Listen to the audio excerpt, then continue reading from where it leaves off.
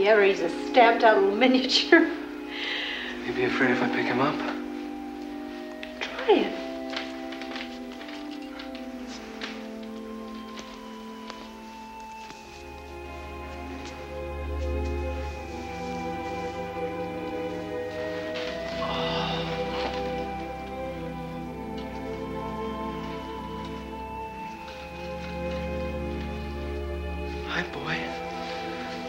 I'm your dad.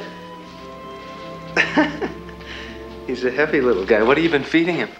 Oh, You wouldn't believe me if I told you. Octopus, blackbirds, anything.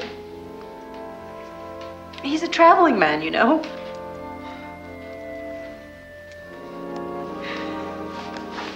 Come on, you gotta see Aaron and meet everybody.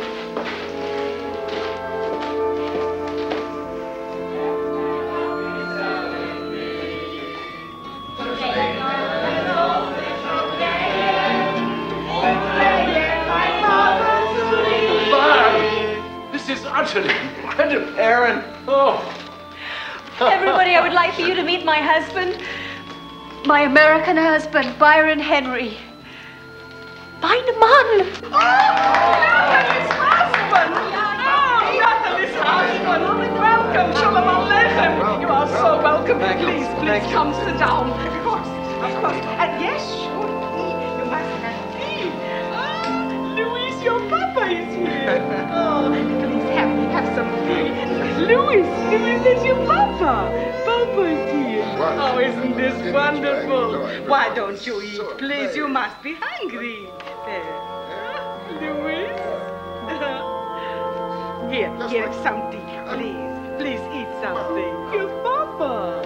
Ah. Louis, look who's here. Your papa. Excuse me. How's the baby? Oh, he was very tired. Oh, afraid your uncle will have to sleep somewhere else tonight. Good Shabbos. Good night. Thanks. Now there is a fine woman.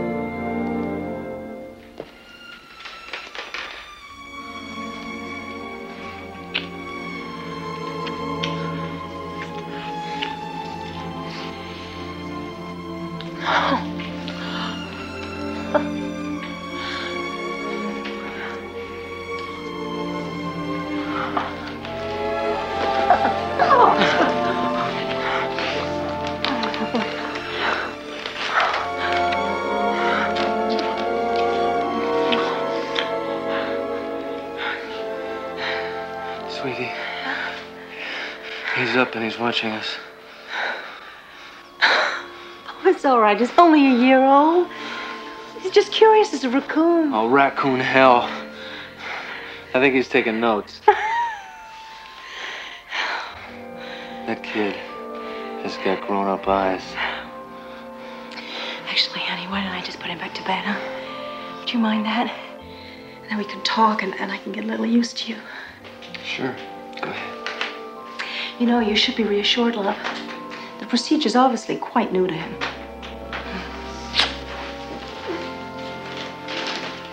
Does he really walk and talk? Walk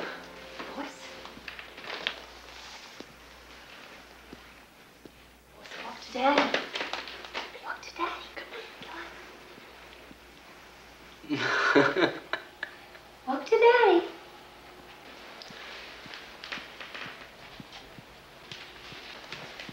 You're supposed to clap when he does that. Ah. Well done, Sprout. Now, how about saying something? Hmm? Oh, you wouldn't understand him. It's all a jumble of Yiddish, Italian, French, and a little English.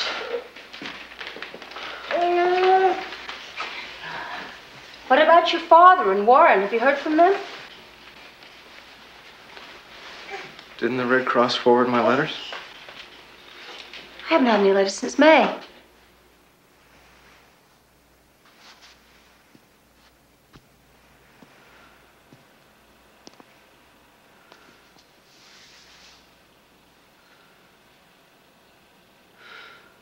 Warren's dead.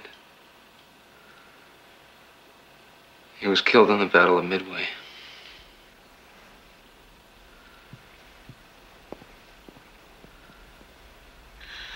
Oh, my darling.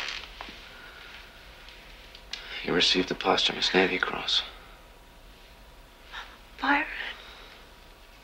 Byron, I can't believe it. Listen, listen to me. The train for Lisbon leaves at midnight. You better start packing. Packing? You mean, you mean we're leaving now, tonight? Yeah. Now, Aaron will have to wait till the consul general clears him, but I'm taking you and the baby with me. My God, Byron. Did the consul general say you could? Not yet. We're going to his apartment now.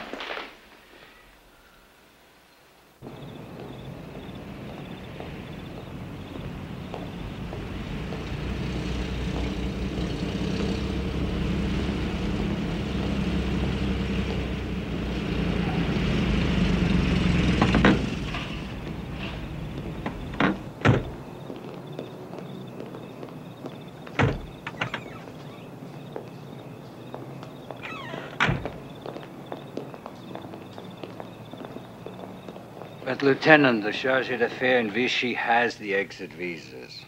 The telex came in today confirming that. We should be getting it any day now. Yes, sir. So you told me at dinner, but I don't see why I just don't take Natalie and the baby along now. I'm convinced I can get him on a plane with me back to the States. He's good at that sort of thing. No doubt, but the problem, Mrs. Henry, is crossing the borders. Sir, my diplomatic passport cuts through immigration red tape like a hot knife through butter. You know that yourself. Not always. Suppose you run into a nasty French border inspector or a German agent. I'll have a story. I'd like to hear it. The baby got sick in Gibraltar. We rushed him to Marseille at night. Uh, we didn't bother with the visas. Look, I'll talk in broken French. I'll yell. I'll be the dumb American official. I'll make it stick. Unfortunately for your story, I've never seen a healthier looking baby. Mrs. Henry, are you willing to back up this story? Look, look, sir. Once we're on the train, we'll have it rehearsed and down cold. Please don't worry. Lieutenant, I want to talk plainly to your wife. Go ahead. Mrs. Henry, as I said, there are Gestapo agents on the train and at the border, and they do exactly as they please. You may be pulled off the train. She won't be, and if she is, I'll go with her. And something else. Should this happen, it is entirely possible that your baby will be taken from you while you're questioned. That's how the Germans do things. And once you and the baby are in custody, I can't help you. We have a file of such cases pending now. People halted with questionable American documents. Some of them are already in Rivesaltes. The concentration camp. You are trying to frighten her.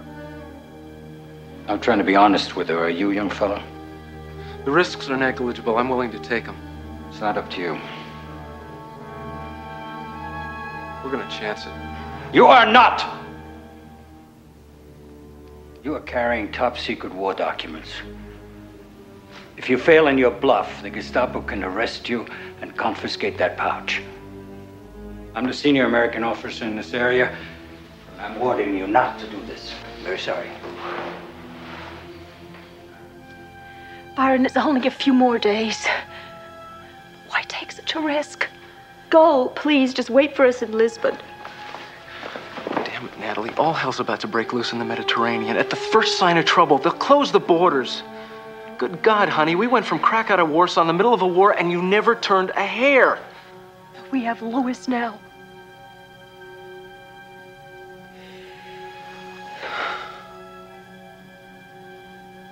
What do you think of him? Are you asking me? Yeah. I've been taken off that train to Lisbon by the Germans.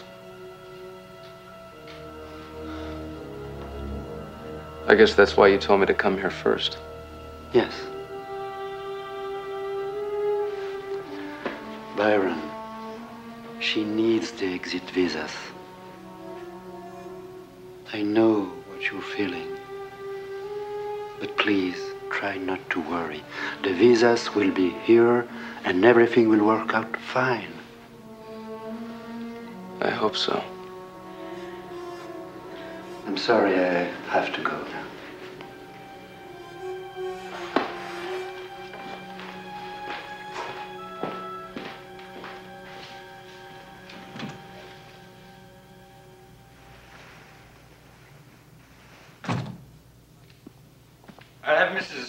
Luggage brought in. Now that she's here, she'd better remain until the visas come.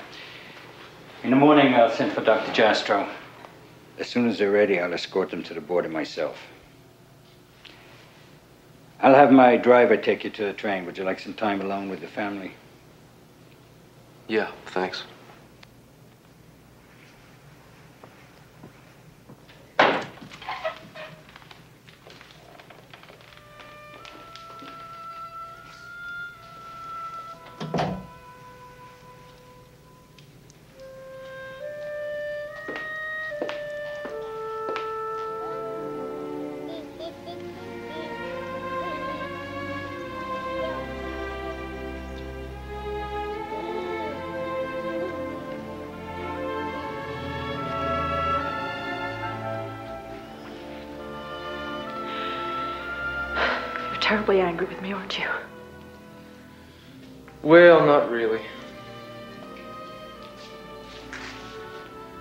I still think we could have made it.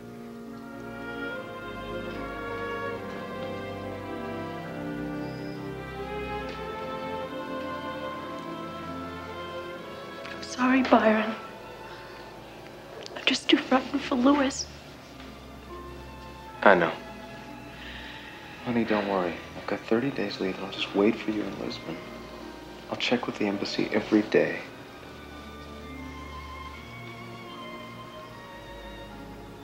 I doubt I can book that honeymoon suite in Estoril. Try. I will. Well, I guess I better think about shoving off.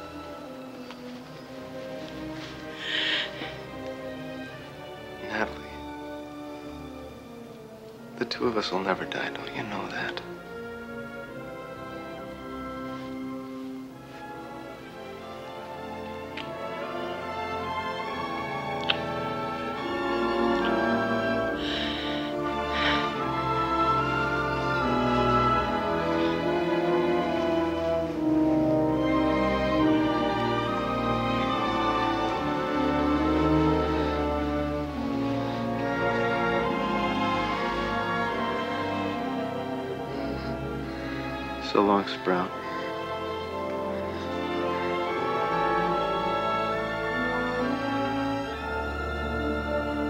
I'm glad I got a look at you.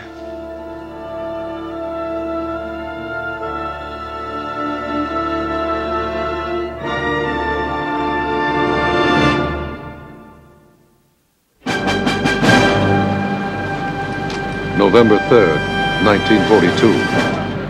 A grand armada steams from the United States and the British Isles. 300 warships, 370 transports and support vessels, and over 100,000 troops. Destination, French North Africa. Originally scheduled for October 30th, the invasion has now been put back a week to the night of November 7th. when the combined forces will sweep ashore on the beaches of Algiers, Oran, and Casablanca. The new world, with all its power and might, sailing forth to the rescue of the old.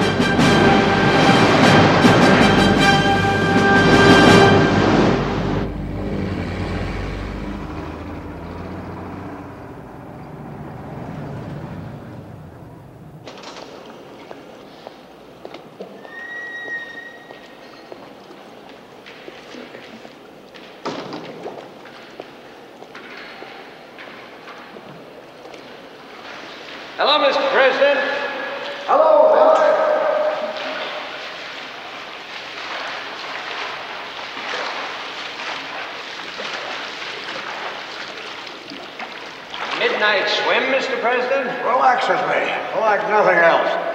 I was having the collywobbles waiting for the returns. What's the news? Still too close to call, sir. There's another long cable from Churchill.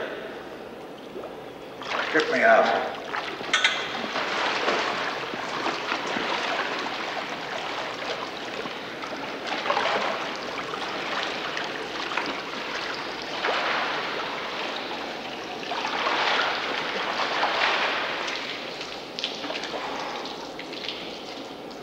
Any word from the Navy and the torch forces? They've got to keep radio silent, sir. Well, no news is good news, I suppose. We'd be hearing plenty if the U-boats had attacked them.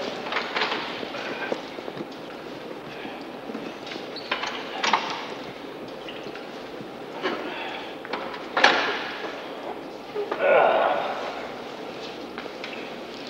It's a miracle, Harry. The U-boat sank nearly a million tons last month, and yet that gigantic torch sails out undetected. But it's still five days from Africa. You know Eisenhower said that the decision on Torch may go down as the blackest day in history? Generals get paid to worry, Harry.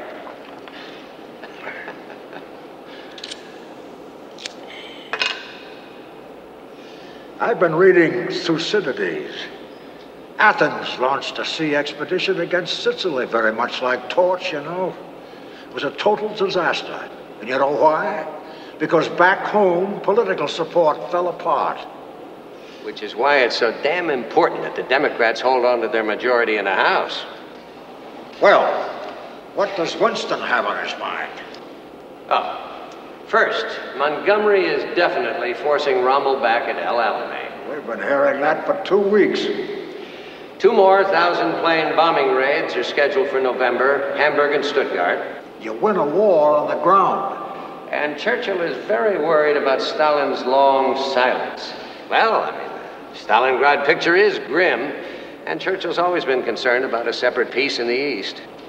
You know, Lenin gave away half of Russia to the Germans in 1917 to make a separate peace. We have to hang on to Stalin.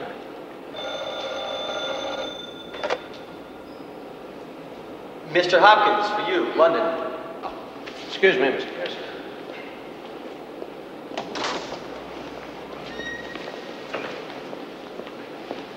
Mr. President, Hello, Ed. What's the word from Democratic headquarters? well, Senate's okay. Governorship's not so good, and they sure played hell with us in the House, all right. I don't like these off-year elections. How bad is it? They've gained the tops 47 seats. 47. Then they didn't make it. We've held the House by 11 seats. By thunder, I've got my Congress. Yes, sir. Not by much, but you still have your Congress. Absolutely. Oh, yeah, yeah, no, I'll tell him right now, of course. Thank you. Mr. President. That was General Alan Brooke calling from Churchill's War Room. The Eighth Army has broken through at El Alamein. Rommel's forces are in full retreat. Well, splendid. You know what, Harry? I think we're going to rewrite Thucydides.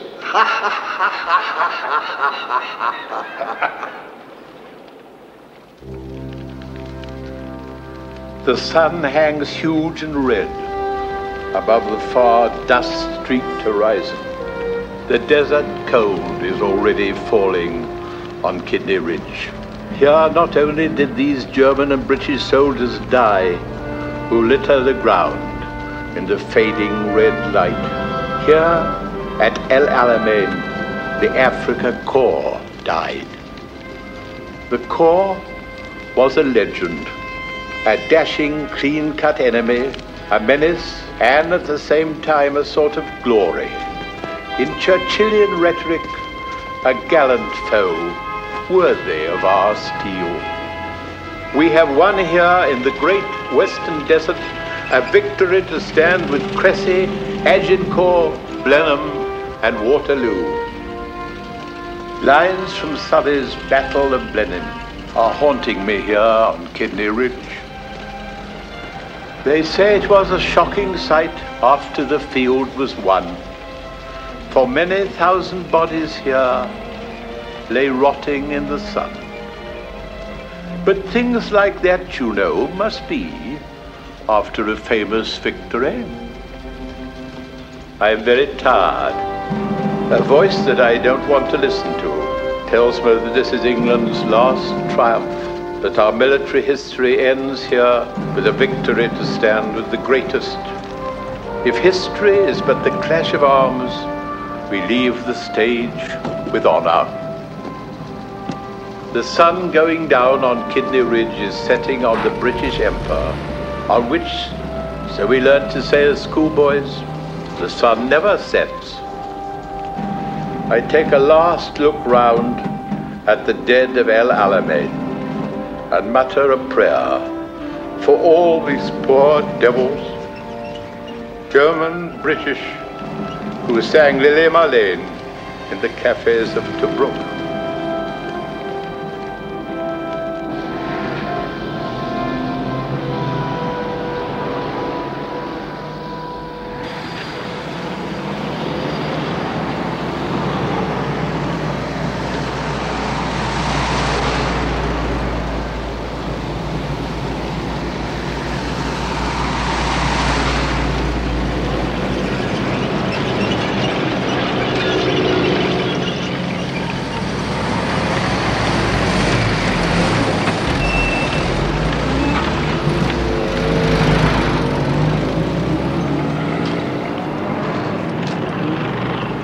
And again from Southey.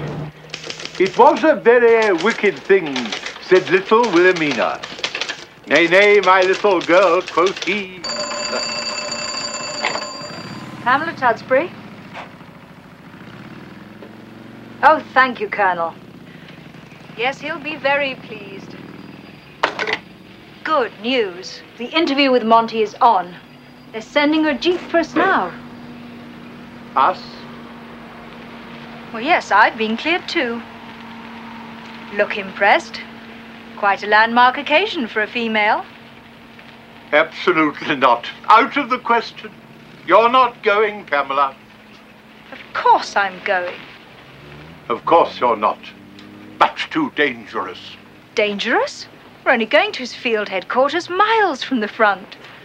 I don't want to hear another word about it.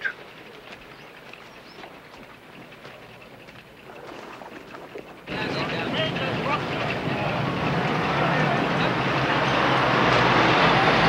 Mr. Sir.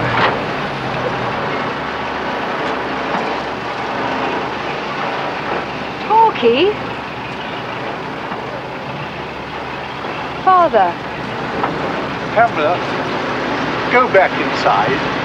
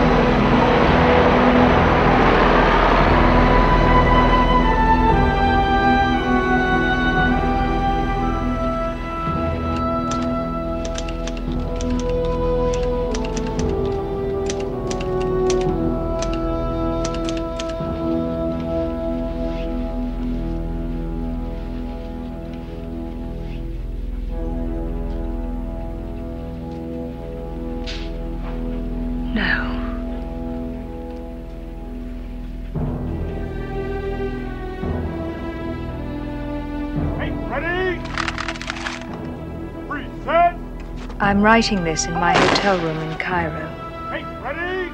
As a World War I reserve officer, my father was buried with honors in the British military cemetery outside Alexandria.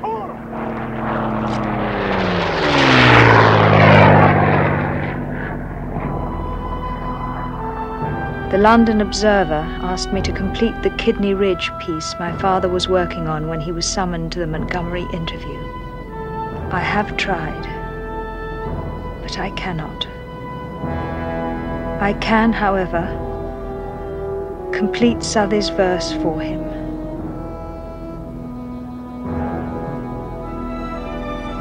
It was a famous victory.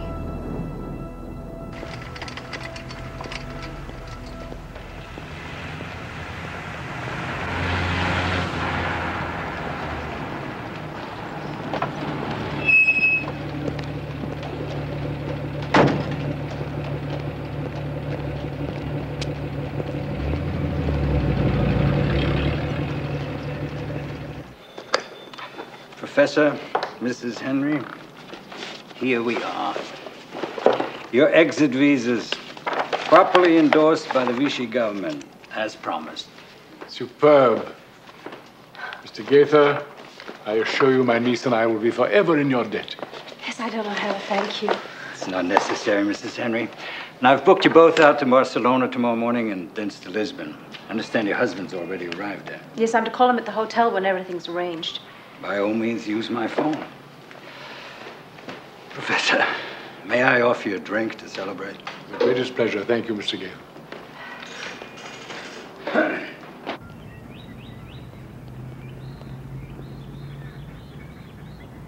Natalie? Oh, honey, that's terrific. Yeah, tell Gaither I owe him one. All right, now listen. I'm trying to wangle some air priorities so we can get out of here in the next couple of days. You remember Bunky Thurston? Yes, of course, Leslie's friend at the embassy. Right. Well, I found out today he's still here. I'm gonna go talk to him in the morning and see what he can do to help us. And honey, I called the hotel in Estoril. I think I can get the honeymoon suite. Oh, Byron. Okay. Tomorrow it is. And you better start teaching that kid of mine some American.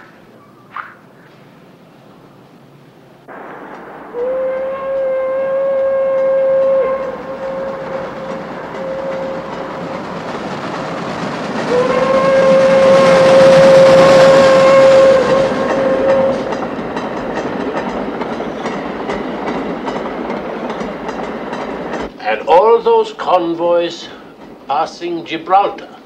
The Fuhrer knows about it. He is not concerned. Yeah. But where are they heading for? Intelligence says maybe it's a landing in Sardinia.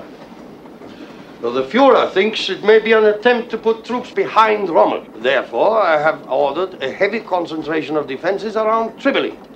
Mussolini is quite sure that it will be French North Africa. Mussolini. his judgment is clouded by two things his ulcer and his whore.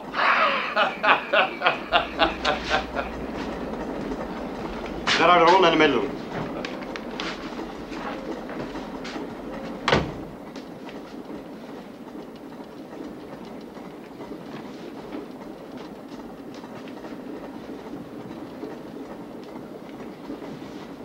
Unbelievable. At most a feint. Well, Jodl. I think you better show this to the Fuhrer immediately. You're the one who should tell him. As headquarters commander in chief. No, no, no, no. The Fuhrer is busy with his party speech. is it worth disturbing him? He should be told immediately. Of course he must. On. Report this dispatch to the Fuhrer. But uh, don't be alarmist or pessimistic. This is no big development. In all German history, our position has never been so powerful. Our new order rules all of Europe. My armies threaten the Volga, the Caucasus, and, despite momentary setbacks, the Nile and beyond. My U boats have sunk almost 8 million tons this year. The Atlantic is becoming impassable to the enemy. As for Stalingrad,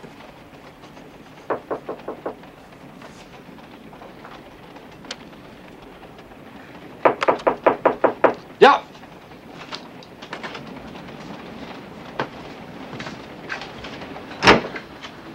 Mein Führer, we have an urgent submarine report. Large sections of those Gibraltar convoys have turned south. French North Africa, if it isn't a deception. One of our U boats? No, Führer. Italian. Italian intelligence. As about as reliable as Italian troops. Still, Keitel is to telephone French Army headquarters in Vichy, report this intelligence, and tell them I demand a full war alert of all Admiral Darlan's land and sea forces in North Africa. Zu Befehl, mein Führer. Meanwhile, we will proceed on to Munich until this little nonsense takes clearer shape.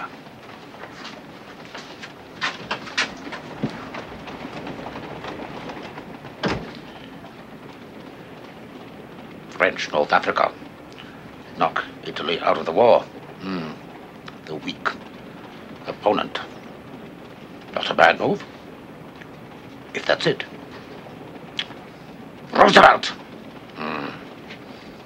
Yeah. 7:46 p.m. Adolf Hitler addresses the party faithful on the 19th anniversary of his famous Beer Hall Putsch.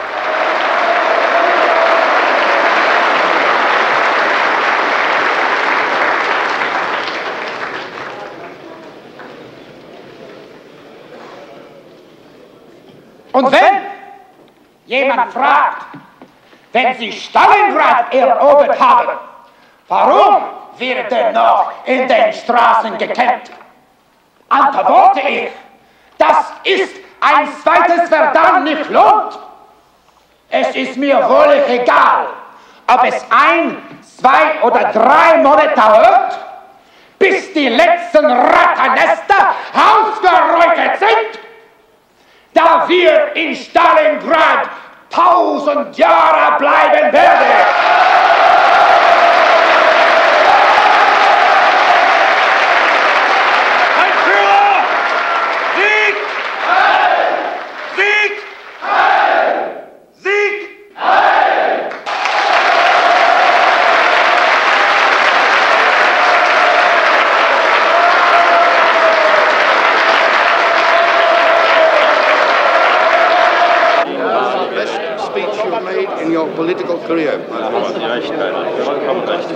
Einmalige war das. People will record this speech and play it to their grandchildren. Ich habe sogar eine Platte davon schon machen lassen? Ich weiß nicht, wie das gespielt wird. What news? Mein Führer, I regret to report absolute betrayal. British and Americans are waiting ashore, and Darlan has ordered ceasefire throughout French North Africa. Darlan! Our man! How could he suddenly turn so rotten? The treacherous swine! I understand that most forces there are obeying him, laying down their arms. Vichy apparently is impotent. Have Ribbentrop notify Mussolini and Laval. They've to come to Munich immediately. We confer tomorrow morning on the future of France. Yes, mein Führer. Keitel, Mein Führer. prepare emergency plans for landing in Tunisia in force within 48 hours. The cowardly French won't fight Roosevelt's rabble of green draftees. We will. Zu Befehl, mein Führer. Also, alert the necessary units for the execution of the plan and highest urgency, we occupy the rest of France. Yes, mein Führer. Best Panzers! I want my best Panzers thrown into Tunisia. The Deutschland, the Adolf Hitler Leibstandarte. Yes, and the Hermann Göring Panzers too. That cowardly, bloodthirsty lunatic Roosevelt and his drunken lapdogs Churchill have stepped into the quicksand. North Africa will be their political graveyard. And with Rommel taking over all command, he'll push Roosevelt's nigger troops back into the sea. And with those extra forces all across, we'll push him right back, this time to the Nile. Mein Führer, With you, the world's greatest military genius leading us, this is bound to be a very positive development. Oh, yes. True turning point.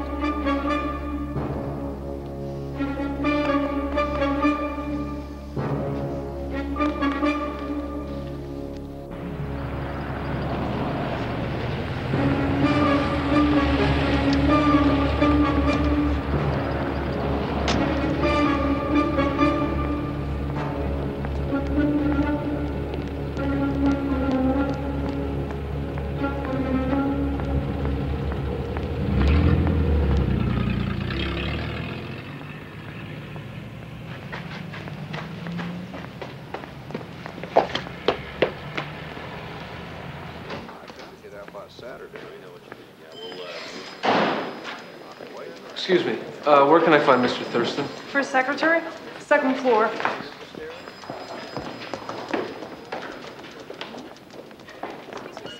Yeah? That's what it says. Uh huh. Yeah. hmm Yeah. No, no. No. You guys got to deal with it, right? Byron Henry. Hey, Bunky. What are you doing in Lisbon? Natalie and her uncle are coming in from Marseille today. Marseille? Natalie? I thought you were still in Siena. Well, a lot's happened since then. Listen, Bunk, I could really use a favor. I need air priorities for all of us on the next Pan Am out of here. Byron, nobody's coming in from Marseille today. Why not? What's going on? Haven't you heard? The Allies have invaded North Africa. What? The Vichy government's broken off relations with the United States. As of 5 a.m. this morning, the borders are closed.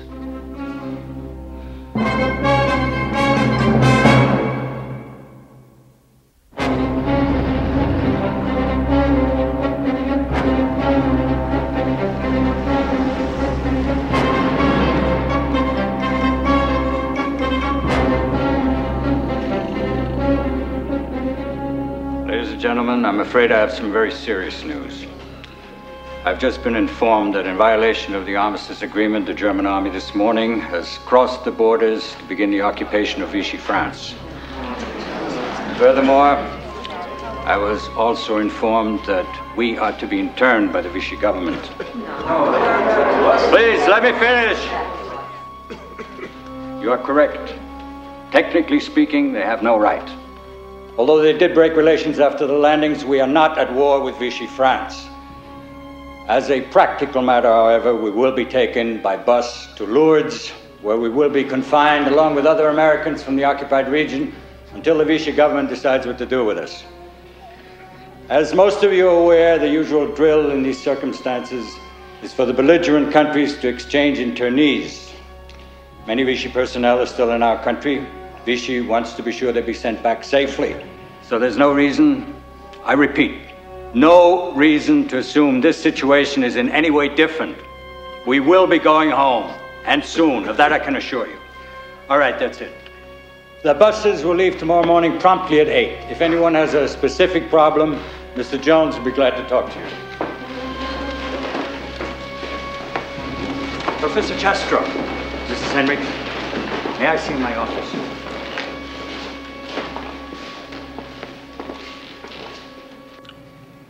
Know how difficult these past few days have been for you, Mrs. Henry, for all of us, but I think Avram has some good news for a change.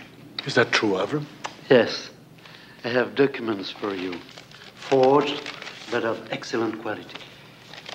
I didn't tell you about this because I wasn't sure that Avram would be able to get them done up. It was very risky under the circumstances. Professor, these certify that you are now and have been for a number of years a credentialed correspondent for Life magazine. Well, I have written one or two pieces for them. And you, Mrs. Henry, are credentialed as Dr. Jastrow's editorial assistant. As journalists, you qualify as internees. But we're fugitives. How on earth could any document protect us if the Germans discover we're here? Fortunately for all of us, the Germans are rather busy these days. What with North Africa and Stalingrad. And our stay in Lourdes, as I told everybody, should be a brief one.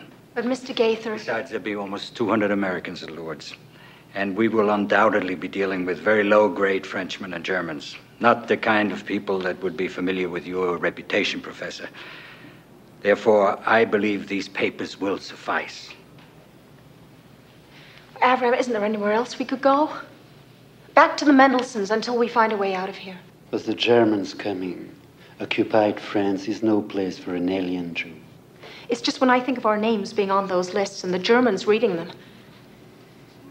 I should have gone with Byron. Oh, God, why didn't I go with him? Natalie.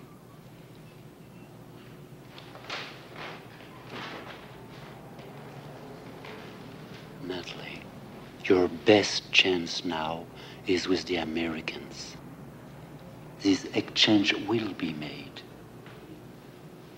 What will you do? Play hide and seek with the Germans for a while. Then I go back into business. Remember, next year in Jerusalem.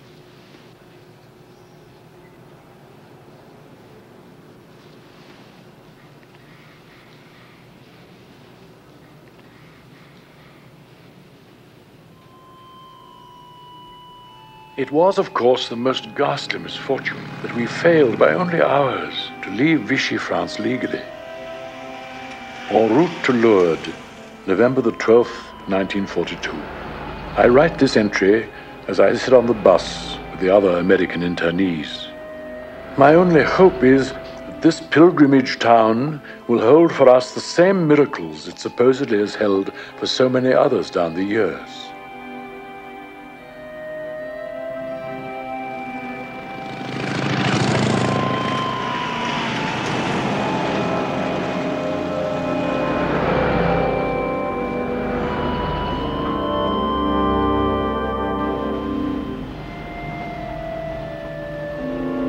As my journey continues, I find myself thinking not of Lourdes, but strangely of a place of my youth, Oswiecim. During our stay in the Mendelssohn apartment, we heard much grisly talk about the rumored atrocities in the East mass shootings, gassings, death camps. And it was almost always the name of one place kept recurring never uttered except in hushed tones of the most profound horror and dread. My Oswiecim, but now in its ugly Germanization, Auschwitz.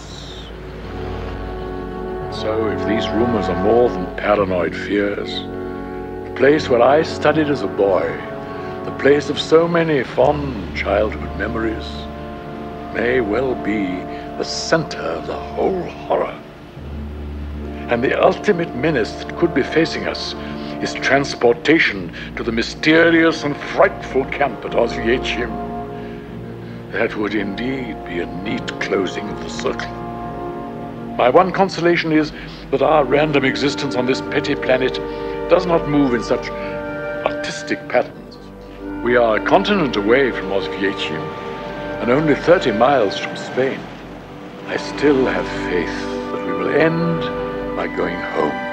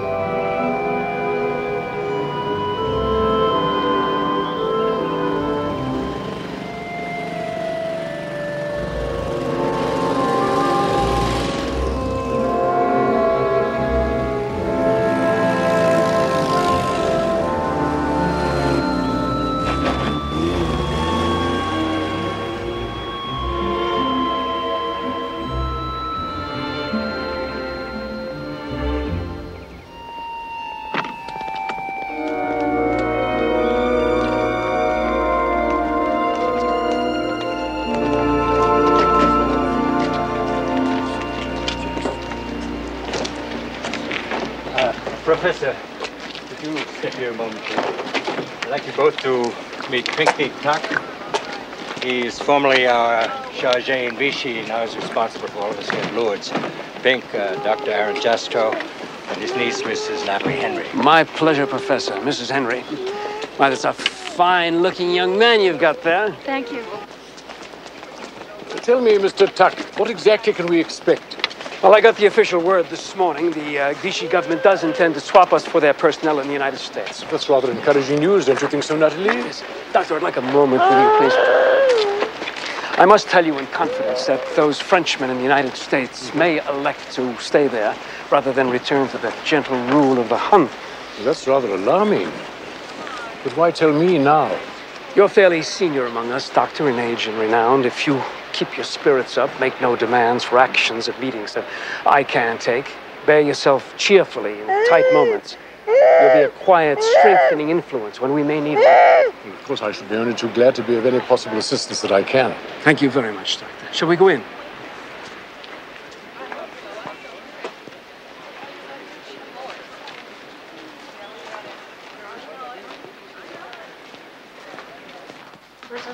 I think we're down here. Oh, Tom, I want to see you downstairs. In five minutes.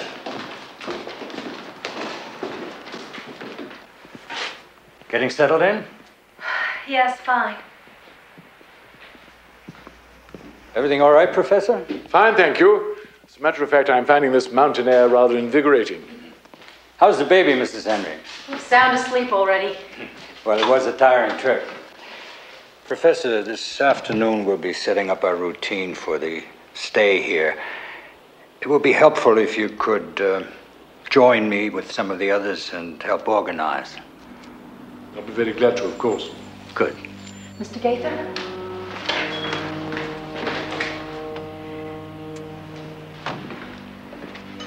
Who are those men? I'm afraid they're Gestapo, Mrs. Henry. They're being posted at all four hotels. What if they start examining our papers? They have no right to. And those documents will hold up. Professor, this is a roster of the rooms uh, in case you want to get in touch with anybody. Thank you so much. I'll contact you later.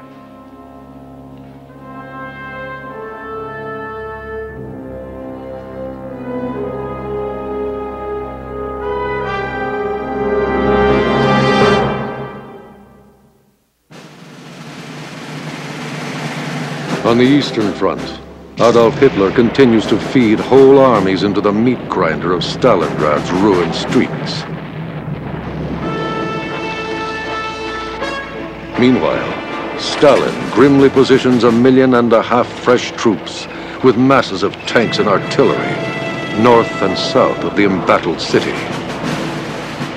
Under the cover of a heavy blizzard in sub-zero weather, the Red Army attacks.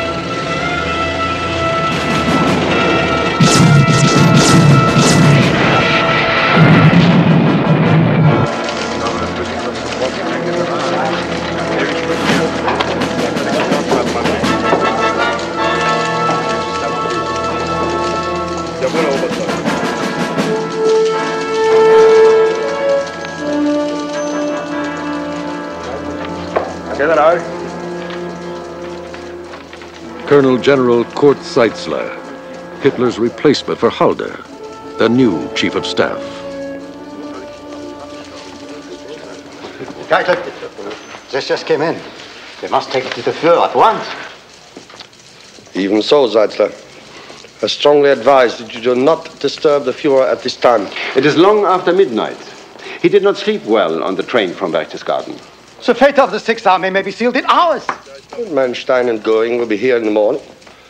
There's plenty of time then to discuss all of this at the Situation Conference. Keitel, I will see the Fuhrer at once. I am chief of staff. The whole of my southern front in Russia is threatened with collapse. Very well. George.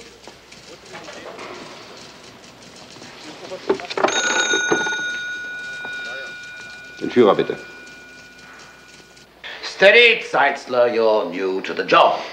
We've been through tougher ones than this on the Eastern Front. You'll prepare a full situation report tomorrow.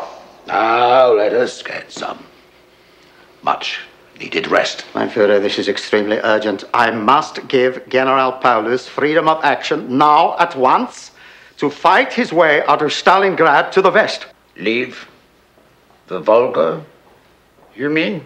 Only if Paulus decides it is necessary, mein Führer, to save the Sixth Army. At least uh, let him plan a breakout.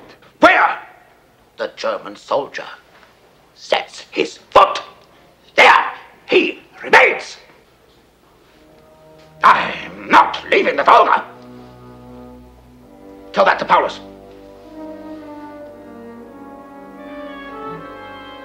Führer, it grieves me, but I must tell you this.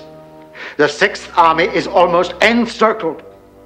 300,000 men, your most powerful mobile force, trapped. Nonsense! What is this nonsense? It's true, mein Führer. The Russians have torn open the Romanian front on the north and are closing with a pincer attack. You yourself assured me by telephone, not six hours ago, Zeitzler, that the 48th Corps was closing that breach in the north. Führer, I, I said they were counterattacking. They, they fought hard, uh, very hard, but they were cut off and surrounded. Uh, overwhelming superior numbers. The whole Panzer Corps cut off by the Russians. Who commands that corps? General Ferdinand Heim, a very capable officer. You will order General Heim to report here to Rastenburg immediately. He will be court-martialed upon arrival and executed by firing squad. Mein Führer, surely. Uh, an inquiry into the circumstances first. Goering will head the court-martial. He will, uh, he will choose his own court. To be fair, my Führer. Situation conference at 1000 hours. Yes. Tomorrow,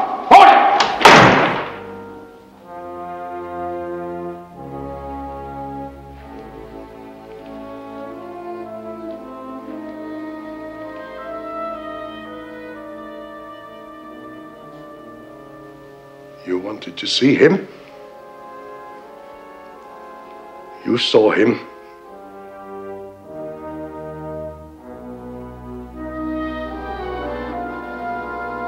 Then I don't have to leave the Volga.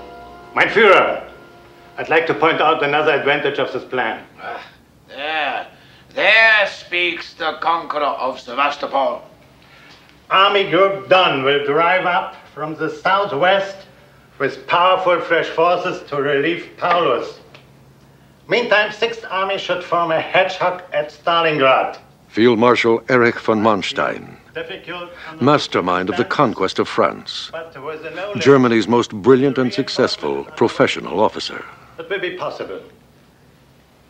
But of course, all this absolutely depends on keeping the Sixth Army supplied by air until my relief columns break through four to six weeks.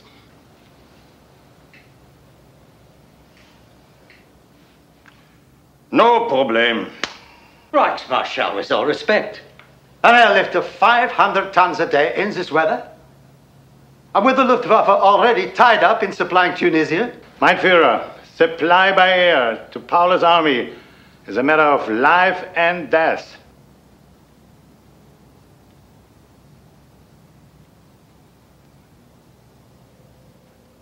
Mein Führer, I will supply the Sixth Army at Stalingrad.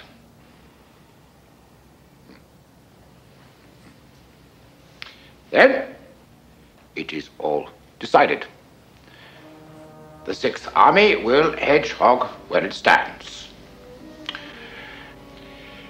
General Paulus' command will henceforth be known as Fortress Stalingrad.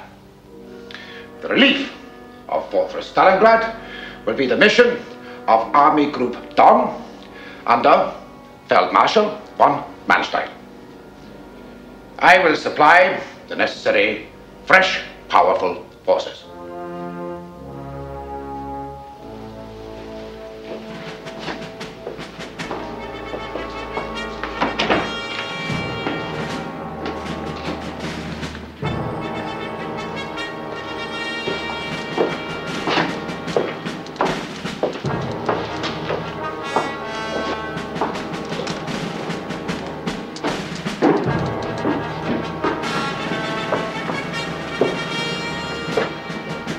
Stalingrad. Goering's airlift is nothing but empty talk. It's hopeless. He simply says whatever the Fuhrer wishes to hear.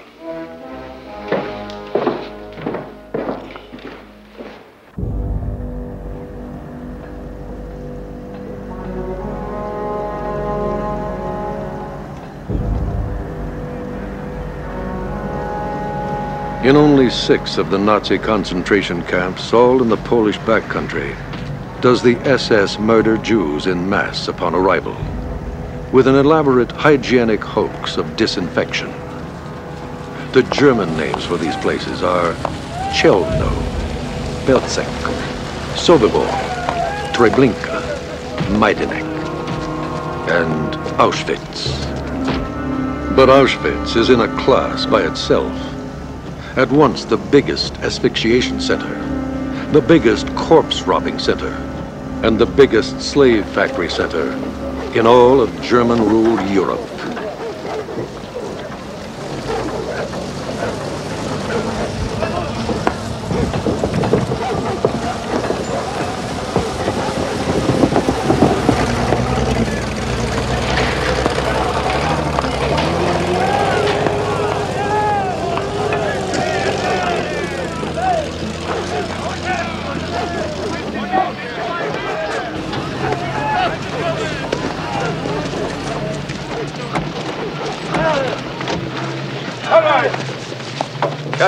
Verstanden, Melde Gehorsam. Mann, Krematorium 2 mit 50 Häftlingen und 20 Zivilisten beschäftigt bei der Vorbereitung der geplanten Besuchsreihe. Bitte mir sofort.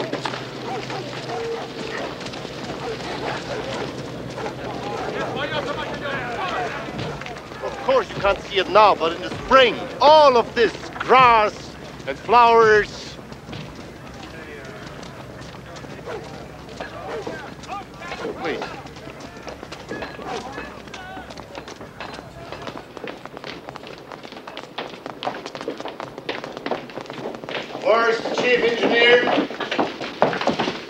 Chief engineer, Herr Prüfer.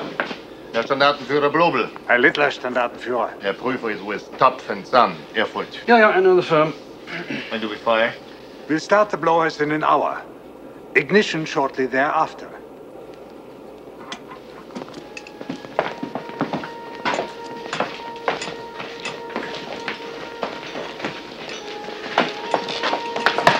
Everything ready for your approval, Obersturmbannführer.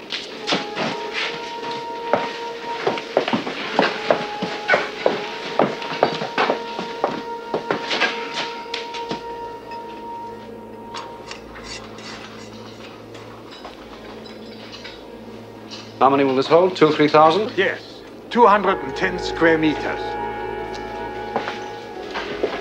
And the other three installations? Approximately the same.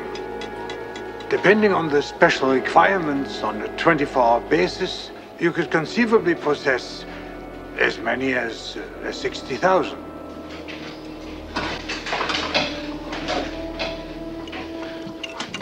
The escape. It's on. When? Tomorrow night. Come. The Zyklon B caps dropped in from above. And the gas comes out through this wire netting.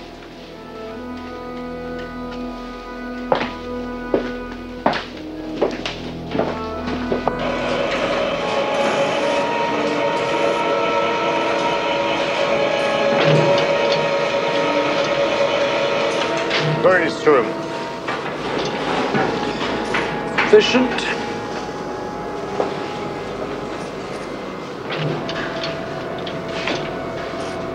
Examination and collection. Gold teeth, hair.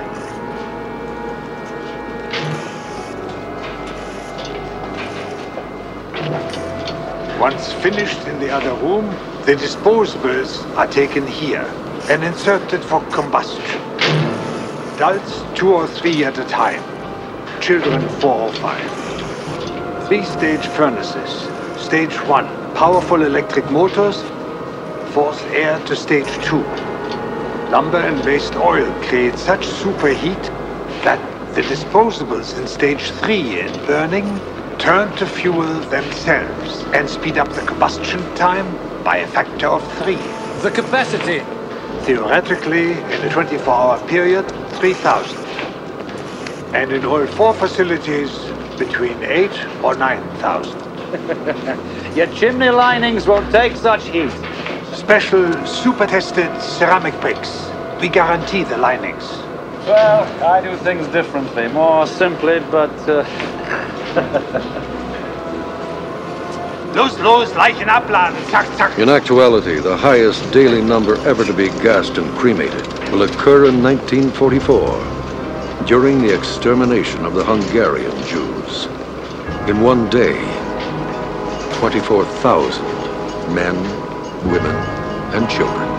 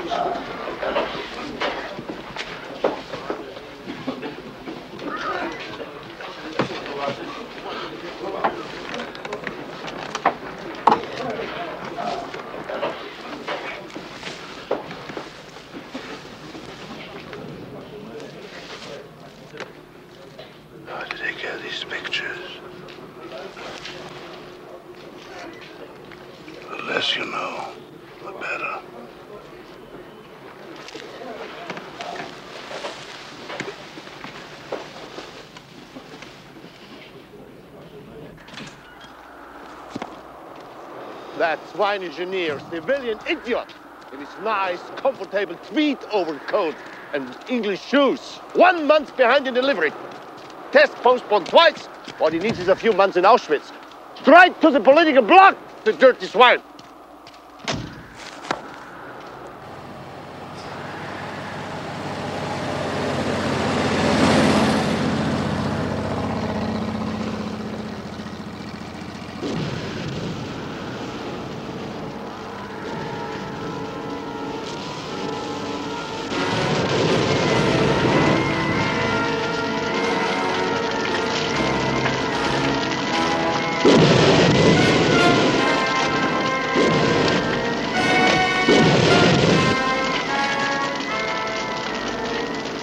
Not flamethrowers. So inefficient, so wasteful. As to not there some of these pits were dug in 1940s, those old rotten bodies just won't burn away. Yet the orders from Berlin are to eradicate, eradicate all traces of mass graves. My dear Commandant, that is exactly what my Commando 1005 is doing all over Poland and Russia. Let me give you some tips. Thank you, Senator. You're a gentleman, a man of culture, not like those damn paper pushers from Berlin. I am an architect by profession. Well, let me at least give you a good dinner. Dinner? Maybe a little drop first. I thought you would never say it.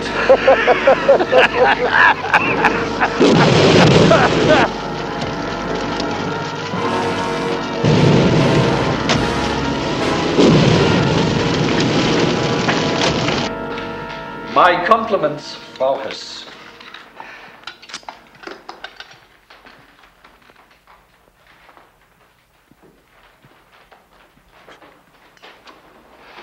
The finest wine.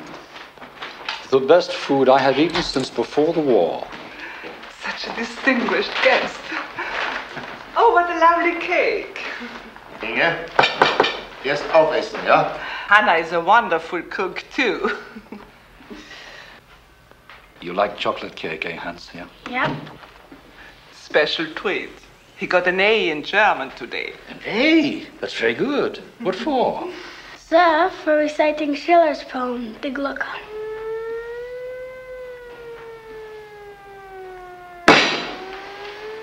Old times.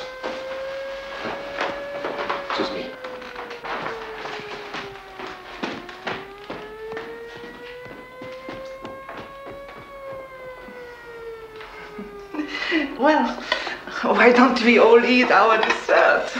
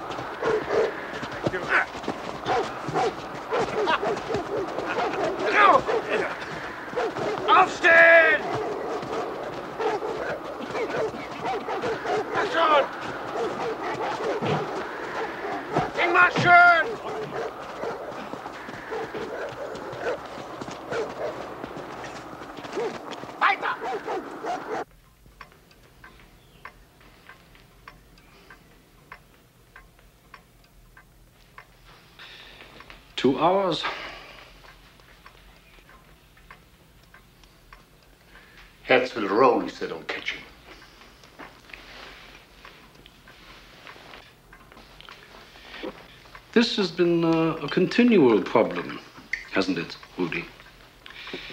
Reichsführer Himmler has mentioned it on a number of occasions.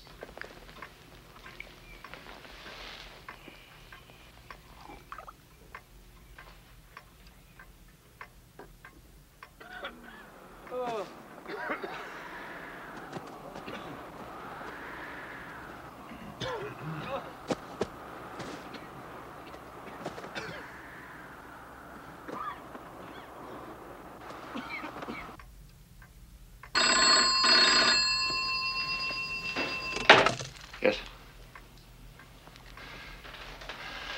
Yes? Splendid. Where? No. Well done. Well done. Caught him. Wait till you hear this.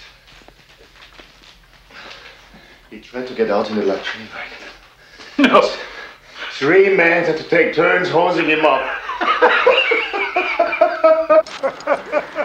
And Paul, I wish you could see what we do with these escaped prisoners when we bring them back. We dress them up in an old clown suit and hang a sign on them. Hurrah! I'm back.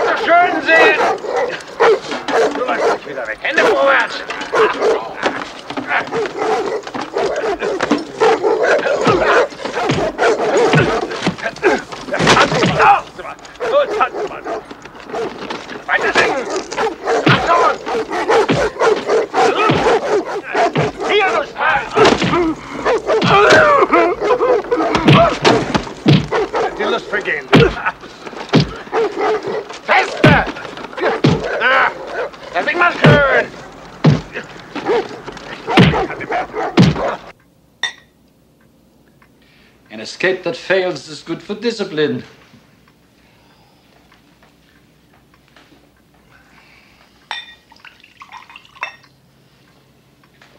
Haig and Haig.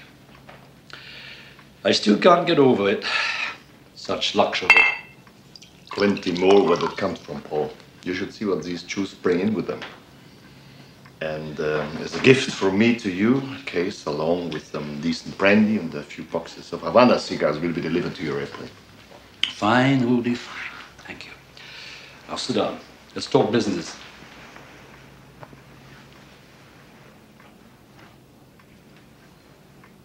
Auschwitz is supposed to supply my commando 1005 with workers. Correct. Yes, of course. Well, you have been sending me rubbish! They don't last three weeks. I need strong men. 500 able bodied Jews in the next shipment, Rudy. 500. Oh, the Reichsfuhrer and I will have to have another little talk.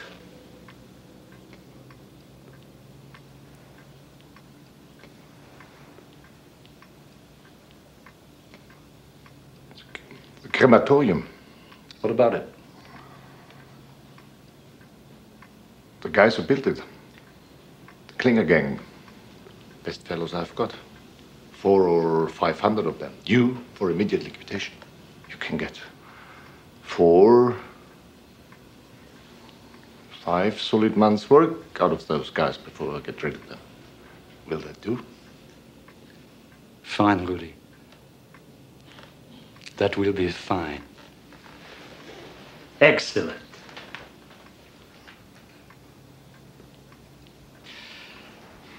Egenheg.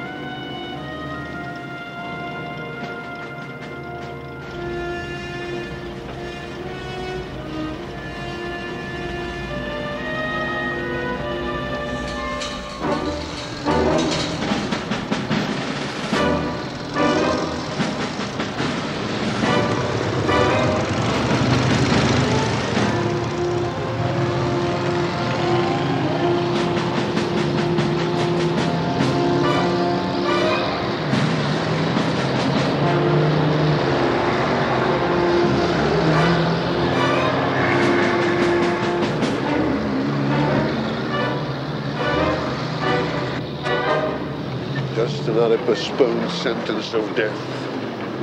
The guy in the labor section told me escapes are easier from 1005. Yeah?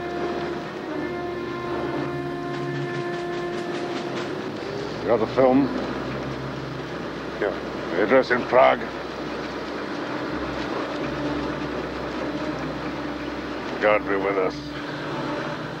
Amen.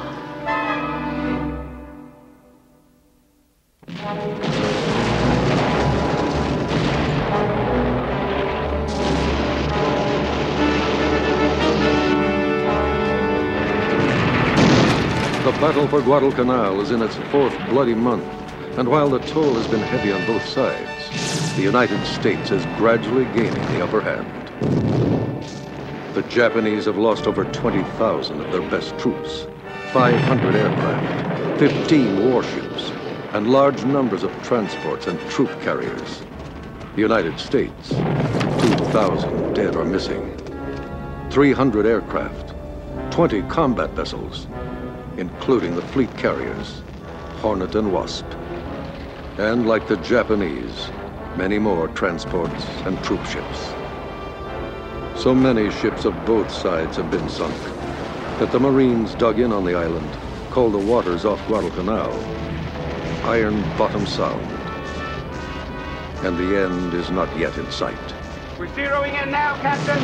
Our salvos are bracketing them. November 30th, 1942. American naval intelligence has learned that the Tokyo Express is steaming again. This time, a force of heavily escorted Japanese transports to reinforce with fresh troops their starved, sick, doomed garrison ashore off Tassafaronga Point. And Admiral Halsey has ordered Task Force 67, five cruisers, six destroyers, to intercept and destroy.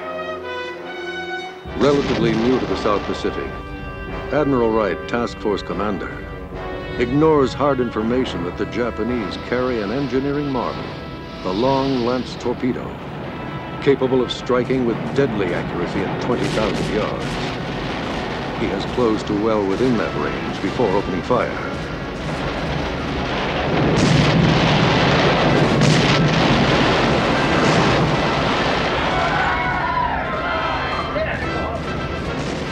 Caught by surprise, the Japanese have but one option. A desperation, murderous shotgun blast of long lance torpedoes.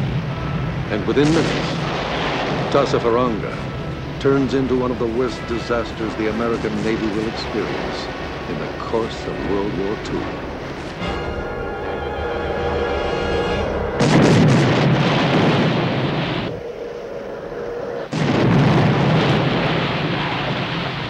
Right standard rudder. Right standard rudder, aye, sir. The new course is 090. New course 090, aye, sir.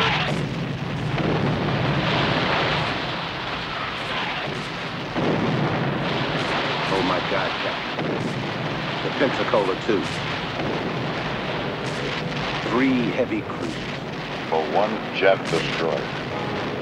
Three magnificent ships. Belay that change of course. All ahead full, left full rudder. Engines answer head full, sir. Left full rudder, aye, sir. Then, sir? Hell yes, this is total disaster. We straddled those bastards with our last salvo. I've got him in my gun sights and I'm closing.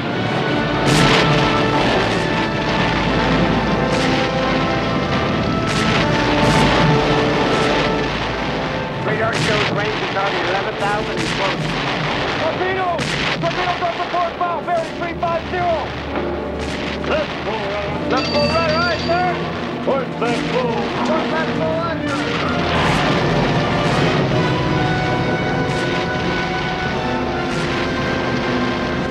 If we swing fast enough, maybe we can. This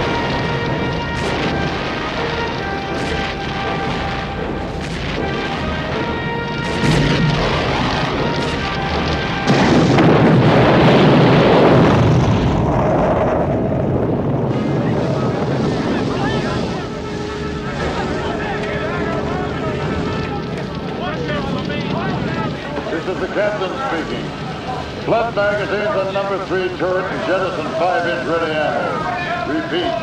Flood magazines on number three turret and jettison five-inch ready ammo. Acknowledged.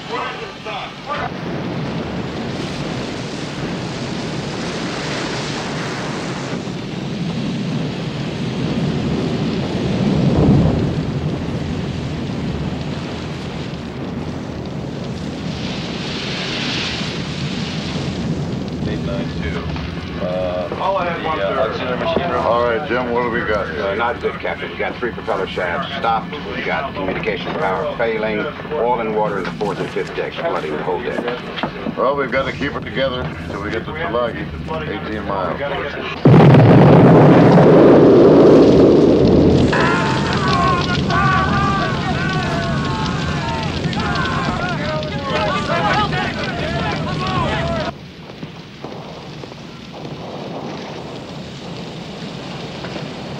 Seal off the main fuel bunker.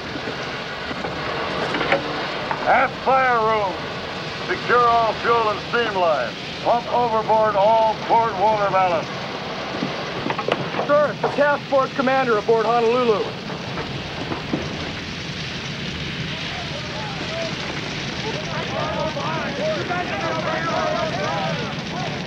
I heard there was some flooding down in East Griffin, Griffin, this is Hawkeye, over. Pug, is that you? Yes, Admiral. How you doing, fella? You look pretty bad from over here. Well, I've got one engine and one propeller, Admiral. I think we've got a chance. Oh, good. Admiral Wright says he thinks his group can make Tulagi. They're all still making steam. We're effecting repairs or trying to as we go. We'll head for Tulagi, too. That's one hell of a fire you got on your stern there. Yes, sir, we're fighting it. You require assistance. No, Admiral. The radar shows these bandits retiring westward.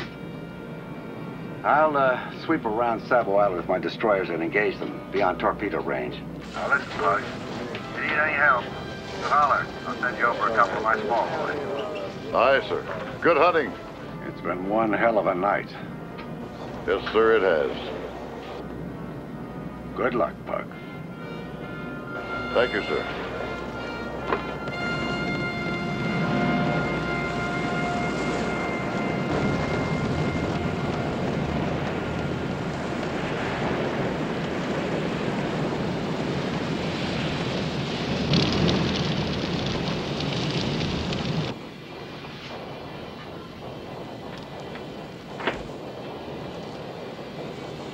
What's the list now? 18 degrees, sir.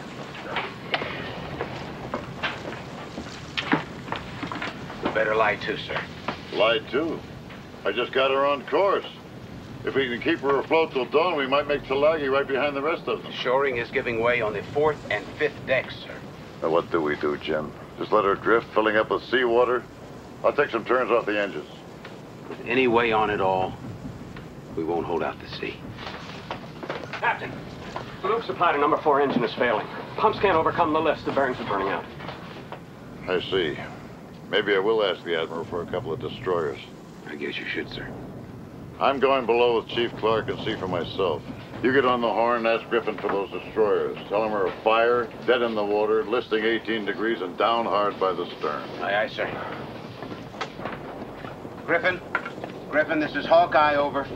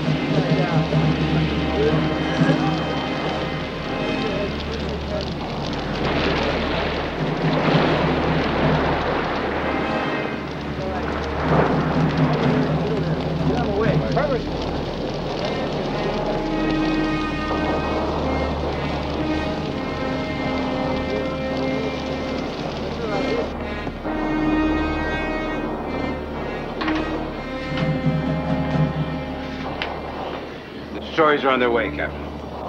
Very well, Jim. Prepare to abandon ship. Sir.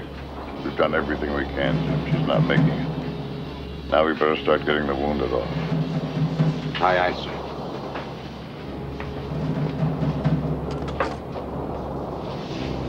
Now hear this.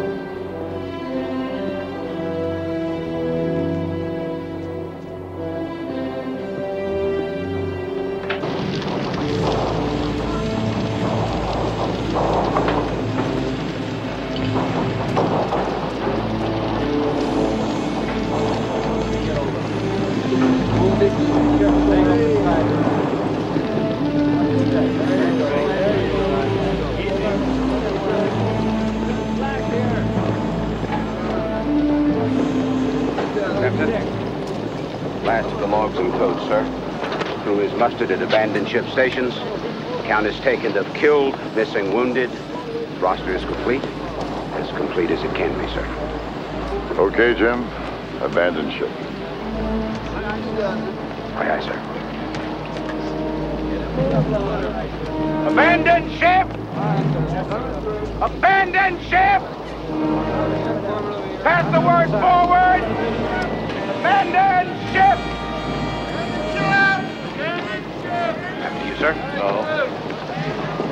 Going down with her, if that's what you're thinking. I wouldn't be much good to the war effort under 400 fathoms.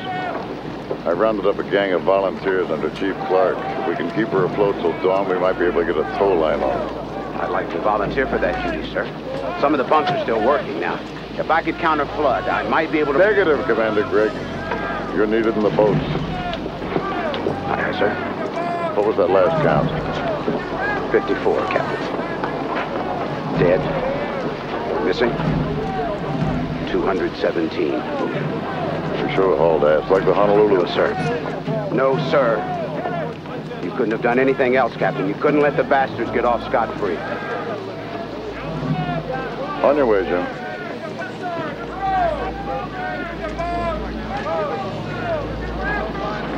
I'll miss the Nord sir. Jim. You take the battle lancer. Fly it on your next command. Yes, sir. Go ahead. Over the side with you.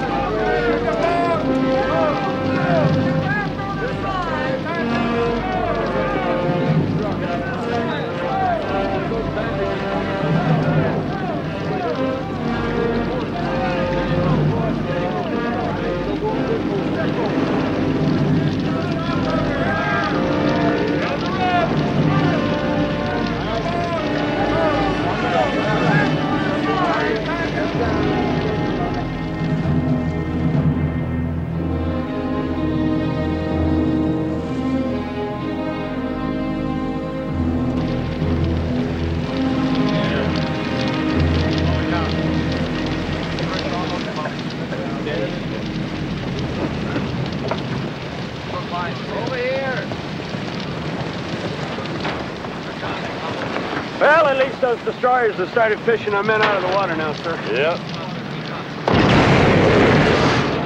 Chief, she could capsize any minute. I'm afraid you're right, sir. Let's abandon ship. Aye, aye, sir. Abandon ship! Let's go! Abandon ship! Move it. Come on, let's go. Abandon ship! Over the side now. Captain, get moving, Chief. You're here, the boss man! Let's go! Over the side!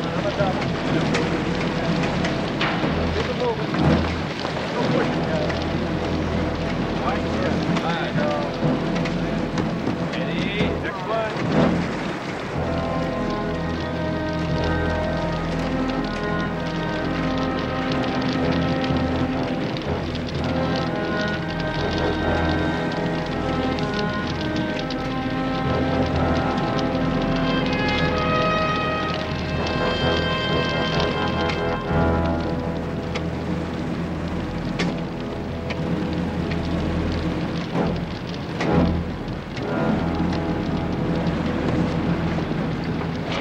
cast off. Aye, aye, sir. Cast off. Captain.